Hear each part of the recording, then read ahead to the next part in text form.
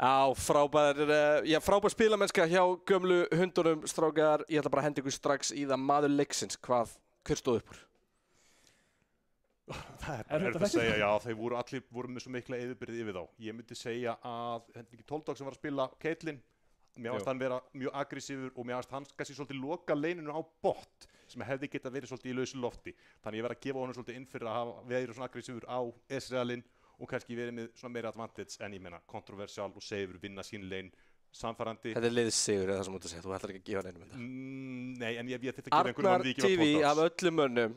Sleggju dóma Arnar. Já, já, þetta er svona. Þetta er svona, byrjum á að sjá First Blood. Ja, sköttulmetan er í fullu veldi hérna þar sem við sjáum þá uh, koma inn. Kontroversal virðist vera komin í vesen, teleporti kemur inn og þeir eru orðnir fjórir og þeir bara eru ekki nógu fljótir að svara fyrir sig. Það er spurning hvort að Gnar hefði ekki átt að teleporta inn líka til að enda að reyna Já, Ég hugsa honum missa og missa þetta Blood bara niður það að missa tvo leikmenn er náttúrulega bara ekki í lagi. Menna, hefði hann ekki bara farið í sláturhúsið í ánni eins og hinnir. líklega. Það er...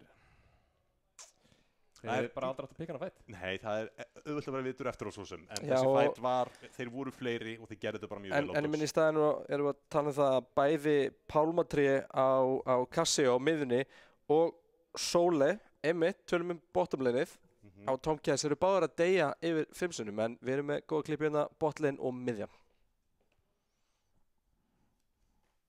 Já, það er hérna sem við sjáum brúsa falla ansi klaufalega. Aðeins er reyna að gefa séns. Já, sjá, Hann ákast ekki Já, að hann vona að fá tekur aggro frá törnunum hann með enu, reynir svo að últa, gráður í killið með últinu, en sjá hvað Toldog, hann bara ákveður bara að taka passivið, flass, últ, máliðu dött og þessir er líka.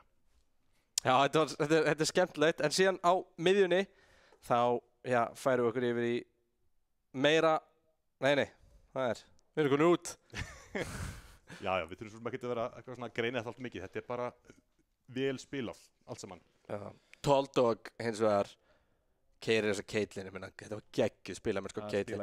Við erum að tala um, um, um öll þessi headshot, öll headshot einhvern veginn enduðu beint á, þú veist, sólet eða eitthvað. Já, þú veist, þetta er bara þannig að þeir eru að spildast úr klaufalega að leifunum að taka allir þessi headshot á sig. Caitlyn, að, þú veist, þegar þú sér það Caitlyn er að þú verður bara að kunna að tæla kúlunar. Há rétt og Dirty það Harry, skilur Hann er alltaf góðu Caitlyn spilari, hann vill reyna að ná tveimur, þreimur headshots í röð. Já, já. Þannig að þú átt, það er eins og segir, þú átt að vera ótrúlega hrættu við það þegar Caitlyn lappar upp að með passið Já. glóðandi þá þú bara að hlaupa.